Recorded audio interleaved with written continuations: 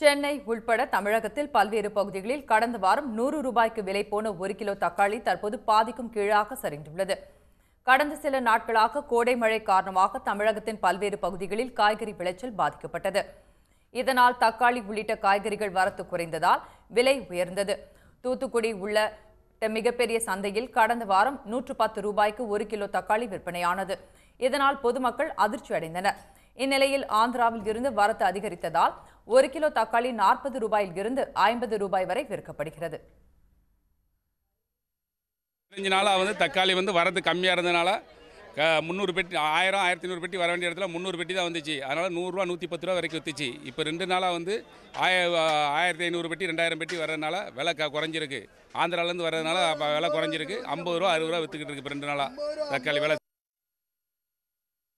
இதேபோன்று சின்ன வெங்காயம் ஐந்து கிலோ கொண்டை ஐந்து கிலோ கொண்ட மூட்டை நூறு ரூபாய்க்கும் பல்லாரி கிலோ நாற்பது ரூபாய்க்கும் விற்பனை செய்யப்படுகிறது.